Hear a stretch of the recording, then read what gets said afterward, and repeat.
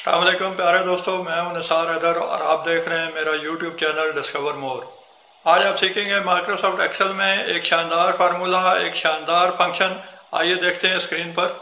दोस्तों, आप सीख रहे हैं माइक्रोसॉफ्ट एक्सेल और माइक्रोसॉफ्ट एक्सेल में मुख्तलिफ़ फार्मूले मुख्तलिफ़ फ़ंक्शन और मुख्तलिफ़ मेथड आप सीख चुके हैं। आज एक छोटा सा फ़ंक्शन लेकिन यूज़फुल फ़ंक्शन आप सीखने जा रहे हैं। आज जो फ़ंक्शन आप सीखेंगे, उसका नाम है इस टैक्स इस टैक्स का जो फ़ंक्शन है, वो किस तरीके से हम यूज़ कर सकते हैं? प्रैक्टिकली हमारे कामों में किस तरीके से आता है, ये देखते हैं। इससे पहले मैंने स्क्रीन पर दो कॉलम्स में एम्प्लाई नंबर और नाम लिखे हुए हैं।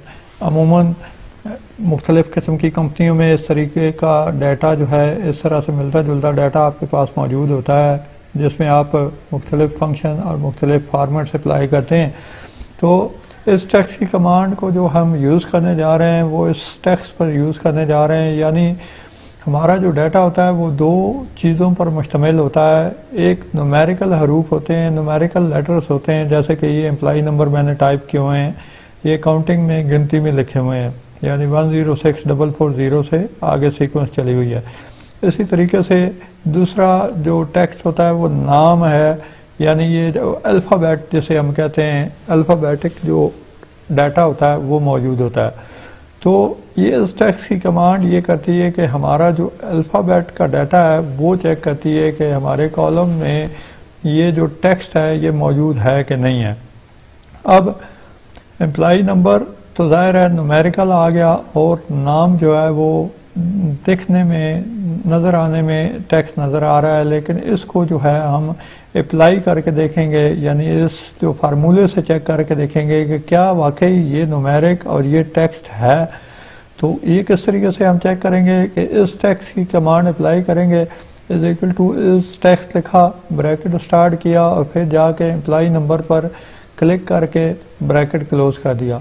जब ब्रैकेट क्लोज किया तो सिस्टम हमें बता रहा है कि नहीं, ये फॉल्स है। यानी ये जो डाटा है आपका, ये टेक्स्ट नहीं हो सकता। ये डेफिनेटली नुमेरिक या किसी और फॉर्मेट में मौजूद है।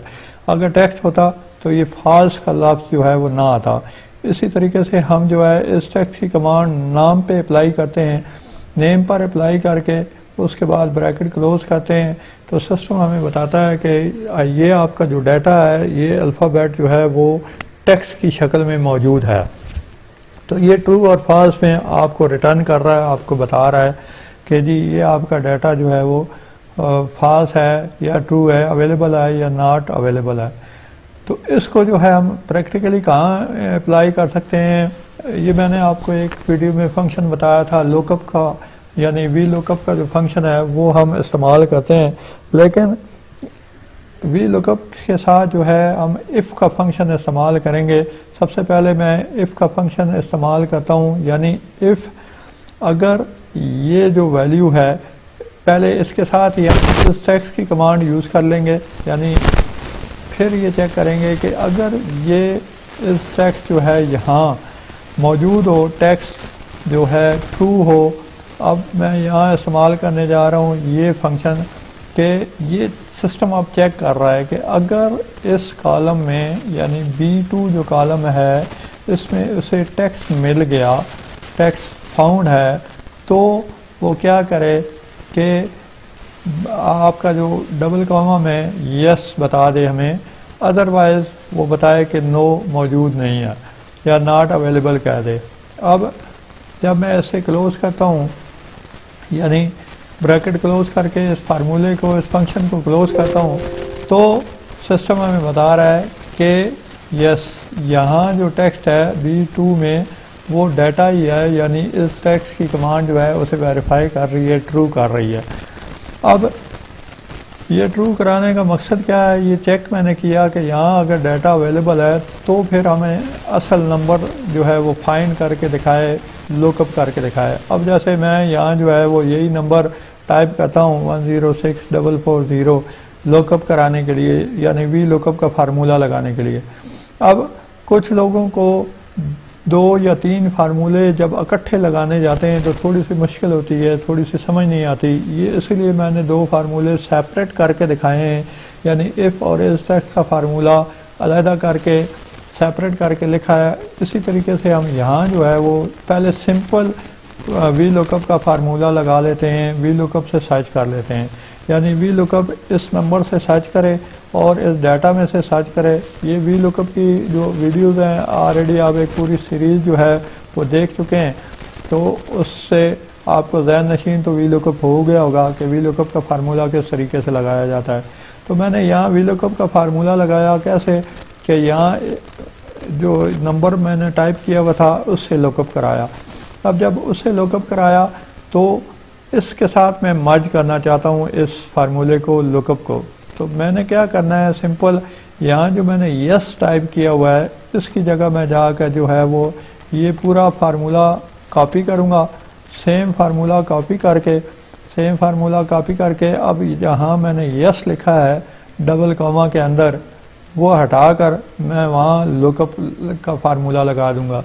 यानी अब बात क्या बन रही है कि if is text B two is equal true यानी अगर उसे बी टू में डाटा मिल गया टैक्स मिल गया तो क्या लुकअप करे वी लुकअप करे, और एम्प्लॉई नंबर के अगेंस्ट में जो हमने टाइप किया हुआ है, वो लुकअप कर दे। अदरवाइज़ नॉट अवेलेबल का जो टेक्स्ट है, वो दिखा दे और हमें शो कराया कि जी वो अवेलेबल नहीं है।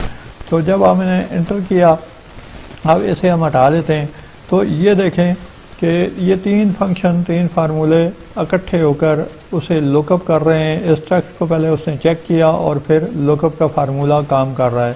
किस तरीके से काम कर रहा है? अब जैसे कि मैं यहाँ अगर इस टेक्स्ट को हटा देता हूँ तो क्या होगा कि वहाँ फॉल्स नहीं आएगा, बल्कि नॉट अवेलेबल का मैसेज आएगा कि वहाँ जो डाटा है वो अवेलेबल ही नहीं है। लेकिन अगर वहाँ जो है मैं नाम लिख देता हूँ और फिर जो है यही फ़ंक्शन ये फार्मूला अप्लाई करता हूँ। तो सिस्टम आपका जो है वो डाटा चेक करके और उसको जो है वो सर्च करेगा। अब इसकी जगह अगर मैं नुमेरिक नंबर भी टाइप कर देता हूँ, तब भी वो नॉट अवेलेबल दिखाएगा, क्योंकि उसे वहाँ डाटा नहीं मिला। नुमेरिक तो है, लेकिन टेक्स्ट का डाटा नहीं है, इसलिए उसने उसे फाइंड नहीं किया। और फाइंड नहीं किया तो फिर उसको एम्प्लाई नंबर के अगेंस्ट में उसका नाम, जो असल नाम है, वो सर्च नहीं किया।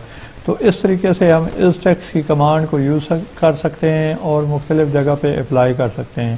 उम्मीद है ये इस टेक्स्ट का फ़ंक्शन जो है वो आपको याद हो गया होगा। दोस्तों वीडियो आपने देखी। अगर आपको पसंद आई हो तो लाइक और शेयर लाजमी कर लें। और अगर आपने चैनल सब्सक्राइब नहीं किया तो चैनल को सब्सक्राइब कर लें और बेल आइकन के निशान पर क्लिक करें ताकि आने वाली तमाम मालूमती वीडियोज़ आप तक पहुँच सकें। आपका बहुत शुक्रिया। अल्लाह हाफिज़।